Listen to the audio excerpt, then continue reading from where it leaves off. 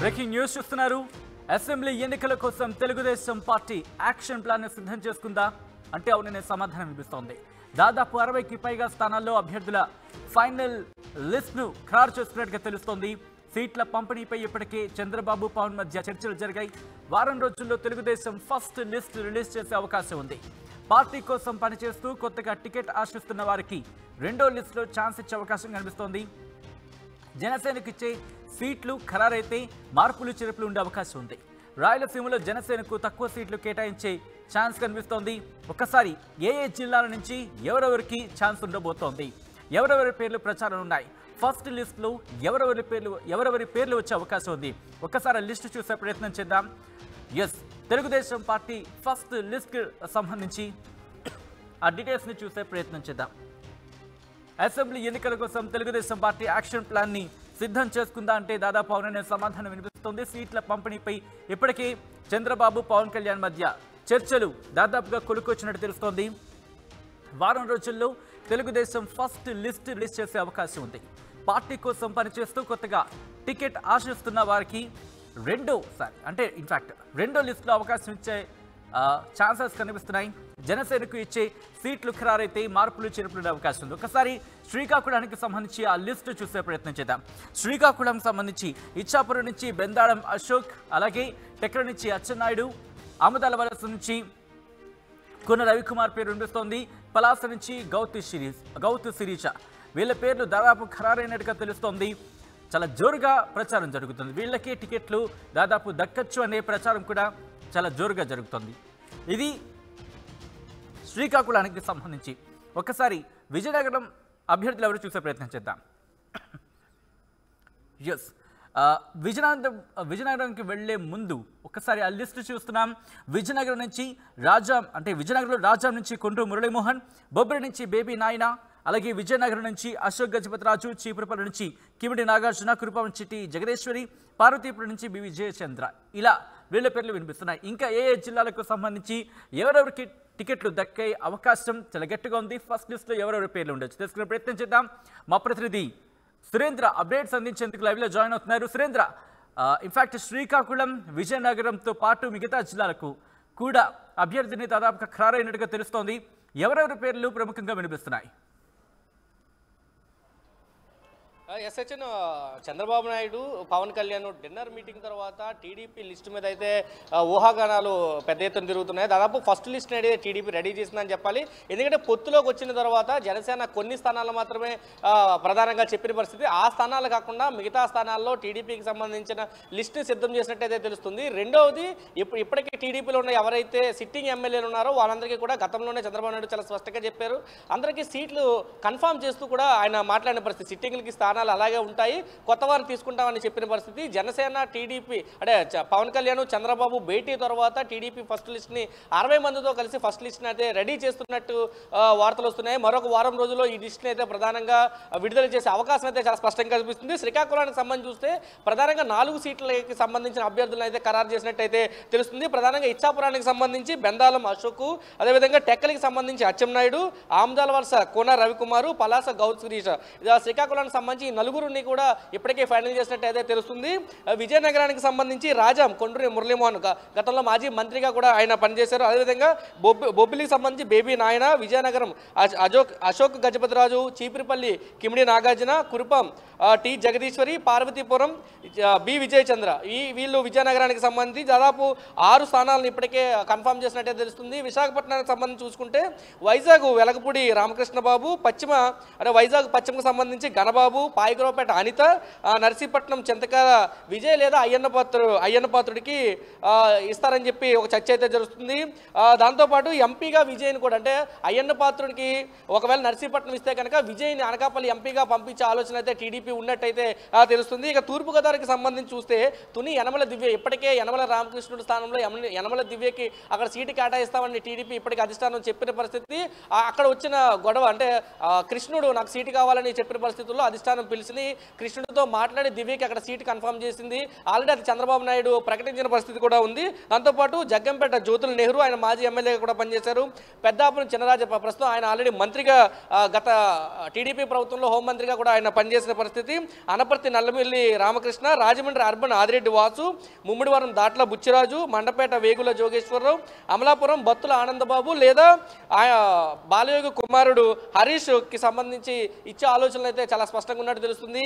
దీనికి సంబంధించి మొత్తం తూర్పుగోదావరి ఉమ్మడి తూర్పుగోదావరిలో దాదాపు ఎనిమిది స్థానాల్లో అయితే కన్ఫామ్ చేసినట్టయితే తెలుస్తుంది. దాంతోపాటు పశ్చిమ గోదావరి జిల్లాకు చూసుకుంటే ఆచంట పితాని సత్యనారాయణ పాలకొల్లు నిమ్మల రామానాయుడు ఉండి మంత్రి రామరాజు గోపాలపురం మద్దిశెట్టి వెంకటరాజు దెందులూరు చింతమనేని ప్రభాకరు అయితే ఇస్తున్నారు. అయితే చింత దెందులూరుకి సంబంధించి జనసేన నుంచి సీటు సీట్ అడుగుతున్న పరిస్థితి కనిపించింది దాని మీద కొంచెం మార్పులు అయితే ఉండొచ్చు. కానీ చింతమనేని ప్రభాకర్ని మార్చి జనసేనకి ఇచ్చే ఆలోచనలు అయితే టీడీపీ లేదు.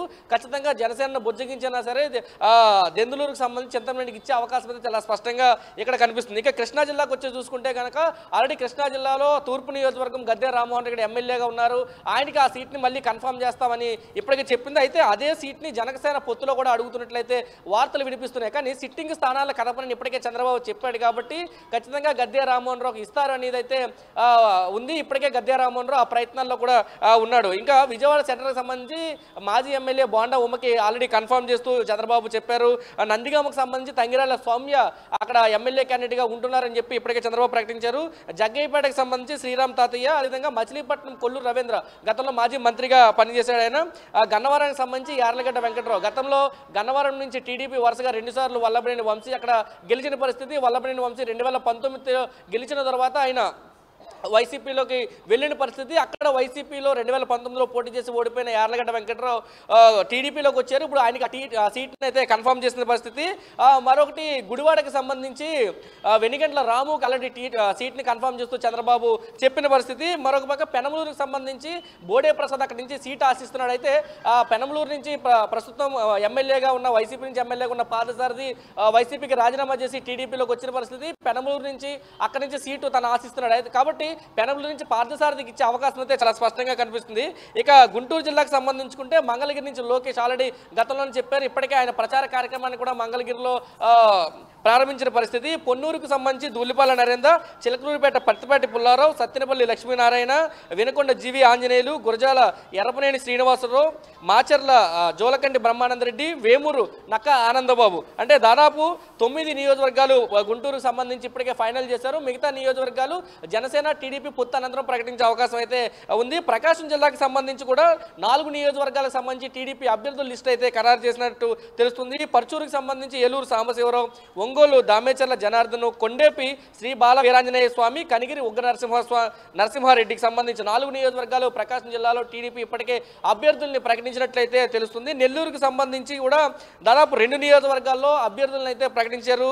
పోలంరెడ్డి దినేష్ రెడ్డి ఆత్మకూరు సంబంధించి ఆరం రామనారాయణ రెడ్డి. గతంలో వైసీపీలో ఈయన పనిచేశారు వైసీపీలోకి రాజీనామా చేసి టీడీపీలోకి వచ్చిన పరిస్థితి అయితే ఉంది.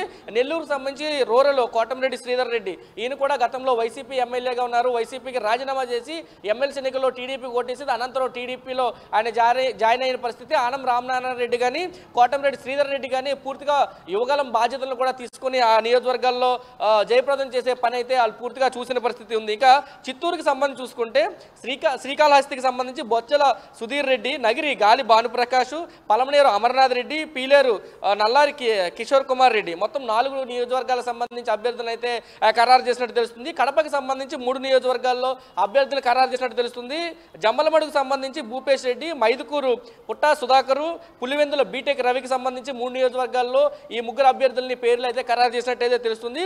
కర్నూలు జిల్లాకు సంబంధించి Banaganapalle BC Janardhan Reddy Panyam Gowru Charitha Reddy Kurnool TG Venkatesh Yemmiganur BV Jayanageswar రెడ్డికి సంబంధించి పూర్తిగా సీట్లు కేటాయించినట్టు తెలుస్తుంది. వైసీపీ ఎమ్మిగనూరులో బీసీకి అయితే సీటు చాలా కేటాయించినట్టు తెలుస్తుంది. ఈ నేపథ్యంలో టీడీపీ అధిష్టానం ఆదోని ఎమ్మిగనూరు మంత్రాలయం అంటే అనంతపురానికి సంబంధించి ఆదోని కానీ ఎమ్మిగనూరు మంత్రాలయం కర్నూలు జిల్లాలో ఈ మూడు నియోజకవర్గాల్లో ఏదో ఒకటి బీసీ కేటాయించాలని చెప్పి ఇప్పటికే ఆలోచిస్తున్న పరిస్థితి చాలా స్పష్టంగా ఉంది. ఎమ్మిగనూరులో జీవి జయనాగేశ్వర జయనాగేశ్వర్ రెడ్డికి అయితే కేటాయిస్తారని చెప్పి ఒక చర్చ అయితే అక్కడ కొనసాగుతుంది. కొనసాగుతున్న పరిస్థితి ఉంది. మరొక పక్క మంత్రాలయానికి సంబంధించి కూడా చూసుకుంటే బీసీ వాల్మీకి సామాజిక వర్గానికి చెందిన రామిరెడ్డి కుమారుడు ఎన్ రా- రాఘవేంద్ర రెడ్డికి ఇచ్చే ఛాన్స్ అయితే ఉందని చెప్పి ఇప్పటికే టీడీపీ వర్గాలు చెబుతున్నాయి.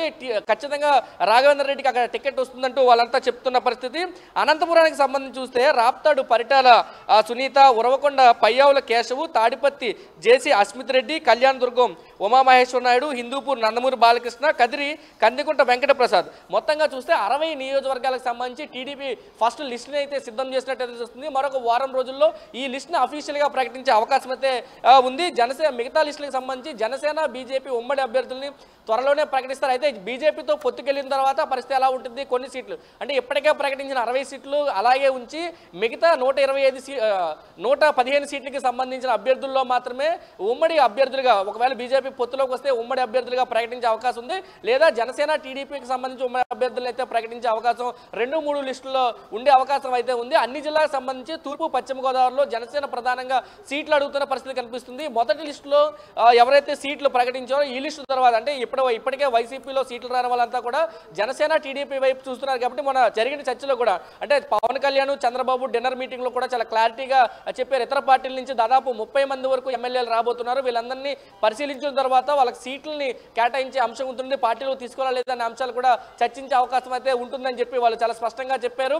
ఇప్పటికే ఉమ్మడి కార్యాచరణకు సంబంధించి అన్ని నియోజకవర్గాల్లో బహిరంగ సభలకు కూడా ఇప్పటికే ప్లాన్ చేసిన పరిస్థితి కనిపిస్తుంది ఇప్పటికే రా కదలరంటూ చంద్రబాబు అనేక బహిరంగ సభలు ప్రధానంగా పెడుతున్నారు. పద్దెనిమిదో తారీఖున గుడివాడ కూడా ఈ బహిరంగ సభ జరగబోతుంది.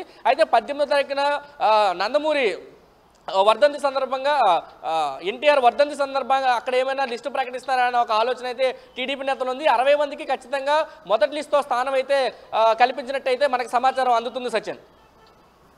సురేంద్ర ఈ లిస్టుకి సంబంధించి ఎందుకంటే ఏ ఏ ప్రాతిపదికన ఈ లిస్ట్ని కన్ఫర్మ్ చేస్తుందని చెప్పుకోవచ్చు. ఆయా క్యాండిడేట్ల విషయంలో ఎటువంటి అంశాలను పరిగణలోకి తీసుకుందనుకోవాలి టీడీపీ?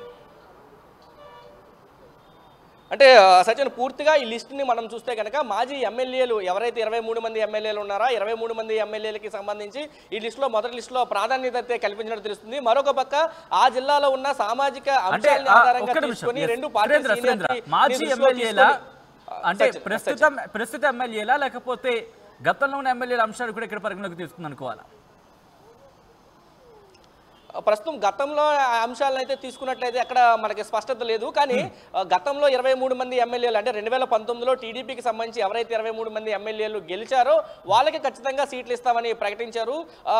రెండు వేల పంతొమ్మిది ఎన్నికల్లో ఇరవై మూడు మందిలో నలుగురు వైసీపీకి వెళ్ళిన పరిస్థితి. ఆ నలుగురు స్థానంలో వైసీపీ నుంచి కూడా మరొక నలుగురు ఇక్కడికి వచ్చిన పరిస్థితి. అయితే ఆ నలుగురిలో కూడా ఇప్పుడు ఇద్దరు పేర్లు మాత్రమే చాలా స్పష్టంగా సీట్లు కేటాయించారు. ఎందుకంటే నెల్లూరుకు సంబంధించి చూస్తే ఆర్ఎం ఆరం రామనారాయణ రెడ్డి కానీ కోటంరెడ్డి శ్రీధర్ రెడ్డి కానీ ఇద్దరికి మాత్రమే సీట్లు అయితే ఫస్ట్ లిస్టులో కన్ఫర్మ్ చేసినట్టు తెలుస్తుంది. చంద్రశేఖర్ రెడ్డికి సంబంధించి కానీ ఉండవల్లి శ్రీదేవికి సంబంధించి కానీ ఈ లిస్టులో ఎక్కడ కూడా పేర్లు అయితే రాలేదు. కానీ ఆ జిల్లాల వారీగా చూసుకున్నప్పుడు సామాజిక సమీకరణ దృష్టిలో పెట్టుకొని అటు ఉత్తరాంధ్ర జిల్లాల్లో బీసీలకు ఎక్కువ ప్రాధాన్యత ఇవ్వడం కనిపిస్తుంది. ఇతర ప్రాంతాల్లో కూడా ఆ సామాజిక వర్గాల దృష్టిలో పెట్టుకొని పార్టీకి వాళ్ళు చేసిన పనిని దృష్టిలో పెట్టుకొని యువగలం ప- యాత్రలో వాళ్ళు ఏ విధంగా కృషి చేశారు పార్టీకి సంబంధించి ఎటువంటి పనులు ఉన్నాయి అక్కడ ఉండే సమీకరణలు ఏ విధంగా ఉన్నాయి ఒక సర్వేల ఆధారంగానే వీళ్ళ లిస్టులు అయితే ఫైనల్ చేసినట్టయితే చాలా స్పష్టంగా తెలుస్తుంది. అయితే ఈ లిస్టు కూడా పూర్తిగా కన్ఫామ్ అని చెప్పలేము. లాస్ట్లో చివరిలో మార్పులు ఉండొచ్చే అనే అంచనాలు కూడా చెప్తున్న పరిస్థితి. ఉదాహరణకి కృష్ణా జిల్లాకు సంబంధించి బోడే ప్రసాద్ టికెట్ లేదని చెప్పి చెప్పిన పరిస్థితి. కానీ బోడే ప్రసాద్ అనుచరులు ఇక్కడ పెద్ద ఎత్తున ఆందోళన చేస్తున్న పరిస్థితి కనిపిస్తుంది. కొన్ని చోట్ల వ్యతిరేకత వర్గాలు కూడా టీడీపీకి సంబంధించి ఆందోళన బాట పడుతున్నాయి. తమ వర్గానికి సంబంధించి లేదా ఆ నాయకుడికి సీట్ ఇవ్వాలంటూ వాళ్ళంతా ఆందోళన బాట పట్టే పరిస్థితి కూడా అనేక చోట్ల కనిపిస్తుంది. టీడీపీ మాత్రం గెలుపు గుర్రాలని రంగంలోకి దించడం కోసం పూర్తిగా రంగంలోకి దిగిందని చెప్పొచ్చు. చంద్రబాబు ఇదేం కర్మతో తిరిగినా కానీ బాధుడు బాధుడే కార్యక్రమంతో తిరిగినా కానీ లేకపోతే ఇంకొక యాక్టివిటీ పెట్టుకుని తిరిగినా కానీ ప్రతి నియోజకవర్గంలో అక్కడ ఉండే సామాజిక అంశాలు ఏంటి ఆయన జన జనాల్లో ఎటువంటి ప్రాబల్యం ఉంది? కార్యక్రమాలు ఏ విధంగా చేయగలుగుతున్నారు? జనాల్లో ఎటువంటి మొబిలైజేషన్ చేస్తున్నారు? అధికార పక్షం మీద ఎటువంటి దాడులు దిగుతున్నారు? ఎన్ని అంశాలను కూడా పరిగణలోకి తీసుకొని సర్వేలు చేయించుకున్నారు. ఆ సర్వేల ఆధారంగానే ఈ లిస్ట్ని అయితే ప్రిపేర్ చేసినట్టే తెలుస్తుంది. ప్రతి ఒక్కరు కూడా ఆశావాహులు చాలా మంది ఉన్నా కానీ ఇప్పుడు శ్రీకాకుళానికి సంబంధించి అచ్చెన్నాయుడు ఆల్రెడీ రాష్ట్ర అధ్యక్షుడిగా ఆయన ఉన్న పరిస్థితి. కోన రవికుమార్ జిల్లా అధ్యక్షుడిగా పని పనిచేస్తున్నాడు. గౌతు శిరీషకి టీడీపీ పార్టీలో కానీ పలాసలో కానీ మంచి పేరుంది. అలా ఇలాగా ప్రతి అంశాన్ని పరిగణలోకి తీసుకున్న తర్వాతే మొదటి లిస్ట్ని అయితే సిద్ధం చేసినట్టు తెలుస్తుంది సచిన్. కానీ ఇక్కడ కొన్ని విషయాలు చూస్తే కనుక ఎందుకంటే వైసీపీ నుంచి వచ్చిన కొంతమందికి ఇక్కడ టికెట్ దాదాపు పేరు వినిపిస్తుంది. ఆనం రామనారాయణ రెడ్డి కావచ్చు లేకపోతే మీరు అన్నట్టుగా కోటంరెడ్డి శ్రీధర్ రెడ్డి కావచ్చు. సో వీళ్ళకు టికెట్ కేటాయించిన తర్వాత అక్కడ ఎక్కడి నుంచో అంటే అక్కడ లోకల్ క్యాడర్ నుంచి అసంతృప్తి వ్యక్తమయ్యే అవకాశం ఉంటుంది. సో వాళ్ళ నెల వాళ్ళ నెల బుజ్జగించే ప్రయత్నం చేస్తోంది తెలుగుదేశం పార్టీ. అంటే ఇప్పటికే అంటే వాళ్ళు పార్టీలోకి వచ్చినప్పుడే ఆ జిల్లా కమిటీలతో చంద్రబాబు చాలా స్పష్టంగా మాట్లాడారు. ఎమ్మెల్సీ ఎన్నికల్లో అనురాధకు సంబంధించి ఓటు వేసే క్రమంలోనే వాళ్ళ పార్టీని వైసీపీని వీడి టీడీపీలోకి వచ్చినప్పుడే ఆ, జిల్లా క్యాడర్తో ఇప్పటికే మాట్లాడారు. ఆ సీట్లు ఖచ్చితంగా వాళ్ళకే ఇవ్వాలని అగ్రిమెంట్ తర్వాత మాత్రమే వాళ్ళు వైసీపీకి వ్యతిరేకంగా ఓటేసి టీడీపీలోకి వచ్చిన పరిస్థితి కనిపించింది. అయితే లోకేష్ యువగలం పాదయాత్రలో మాత్రమే వీళ్ళు అఫీషియల్గా వెళ్ళిన పరిస్థితి. అక్కడ ఉన్న క్యాడర్ కూడా అంటే ఇది నా ఈ ఎమ్మెల్యే టికెట్లు ఇవ్వకపోయినా ఖచ్చితంగా నామినేటెడ్ పోస్టులు అయితే మీకు ఇస్తాము లేదా ఎమ్మెల్సీని ఇస్తామని అక్కడ లోకల్ ఉన్న క్యాడర్ అయితే ఇప్పటికే చంద్రబాబు మాట్లాడినట్టు తెలుస్తుంది. ఆ గెలుపుకి సంబంధించి కోటంరెడ్డి శ్రీధర్ రెడ్డి కానీ ఆనం రామనారాయణ రామనారాయణ రెడ్డికి సంబంధించి కానీ ఖచ్చితంగా వీళ్ళని గెలిపించుకోవాలనే బాధ్యత టీడీపీ తీసుకుంటుందని చెప్పి ఇప్పటికే ప్రకటించారు. అక్కడ ఉన్న సా- సామాజిక సమీకరణ అంశాలు. ప్రధానంగా నెల్లూరుకి సంబంధించి రెడ్లు వైసీపీలో ఎక్కువ ఉన్న పరిస్థితి. కాబట్టి రెడ్లని టార్గెట్ చేసి చంద్రబాబు వీళ్ళిద్దరిని కూడా తీసుకున్నట్టు తెలుస్తుంది. అందుకోసమే కోటంరెడ్డి శ్రీధర్ రెడ్డి కానీ ఆనం ఆనం రామనారాయణ రెడ్డి కానీ సీట్లు ఇచ్చినట్లయితే చాలా స్పష్టంగా తెలుస్తున్న పరిస్థితి. ఆ జిల్లాకి సంబంధించి టీడీపీ నేతలతో ఇప్పటికే అనేక దఫాలు చర్చలు చేసిన తర్వాత మాత్రమే చంద్రబాబు ఈ నిర్ణయాన్ని అయితే ప్రకటించినట్టు తెలుస్తుంది Sachin. Right right Surendra thanks full update so మొత్తంగా అయితే మాత్రం తెలుగుదేశం పార్టీకి సంబంధించి ఫస్ట్ లిస్ట్ చూస్తున్నారు మీరు. దాదాపు ఈ పేర్లు చాలా దాదాపుగా ఖరారవుతున్న పరిస్థితి దాదాపుగా బలంగా ప్రచారం జరుగుతోంది. ఈ సీట్ల అంశంలో దాదాపుగా కొన్ని అంశాలను పరిగణలోకి తీసుకున్న తర్వాతే కొనుక్కొచ్చినట్టుగా తెలుస్తోంది. ముఖ్యంగా జనసేనతో పొత్తు అంశానికి సంబంధించి కూడా ఇప్పటికే నారా చంద్రబాబు నాయుడు భేటీ జరిపారు. తెలుగుదేశం పార్టీ అధినేత ఆయన భేటీ జరిపారు. అసెంబ్లీ ఎన్నికల కోసం తెలుగుదేశం పార్టీ యాక్షన్ ప్లాన్ సిద్ధం చేసుకుంది. దాదాపు అరవైకి పైగా స్థానాల్లో అభ్యర్థిని ఫైనల్ చేస్తుందని చెప్పుకోవాలి. సీట్ల పంపిణీపై ఇప్పటికే చంద్రబాబు పవన్ మధ్య చాలా చర్చలు జరిగాయి. వారం రోజుల్లో తెలుగుదేశం ఫస్ట్ లిస్ట్ రిలీజ్ అయ్యే అవకాశం కనిపిస్తోంది. పార్టీ కోసం పనిచేస్తూ కొత్తగా టికెట్ ఆశిస్తున్న వారికి రెండో లిస్టులో ఛాన్స్ ఇచ్చే అవకాశం ఉంది. దాంతోపాటు జనసేనకి ఇచ్చే సీట్లు ఖరారైతే మార్పులు చేర్పులు ఉండే అవకాశం కూడా ఉంది. రాయలసీమలో జనసేనకు తక్కువ సీట్లు కేటాయించే ఛాన్స్ కనిపిస్తోంది. ఏం జరగబోతోంది? ఫస్ట్ లిస్ట్లో ఎటువంటి మార్పులు ఉండబోతున్నాయి? ఇవే పేర్లు వినిపిస్తాయా? లేకపోతే ఏమైనా మార్పులు చేర్పులు చేస్తుందా? తెలుగుదేశం పార్టీ ఏం చేయబోతోంది? జనసేనతో పొత్తులో భాగంగా ఏమైనా కొన్ని సీట్లను వాళ్ళకి ఇచ్చే అవకాశం ఉంటుందా? ఏ ఏ సీట్లు ఇస్తుంది ఒకవేళ ఇస్తే కనుక మార్పులు చేర్పే విధంగా ఉండే అవకాశం ఉంది? ఒకవేళ వైసీపీ నుంచి వచ్చిన వాళ్ళకి టికెట్లు కేటాయించే పరిస్థితి ఉంటే కనుక అక్కడ లోకల్ క్యాడర్ని వచ్చే అసంతృప్తిని ఇలా బుజ్జగించే ప్రయత్నం చేస్తుంది? వారిని పార్టీలో కొనసాగేలా ఎటువంటి చర్యలకు ఉపక్రమిస్తుంది? అనే అంశానికి సంబంధించి మాత్రం ఉత్కంఠ కొనసాగుతుంది. సో చూద్దాం మరి. తెలుగుదేశం పార్టీ ఏం చేయబోతోందో?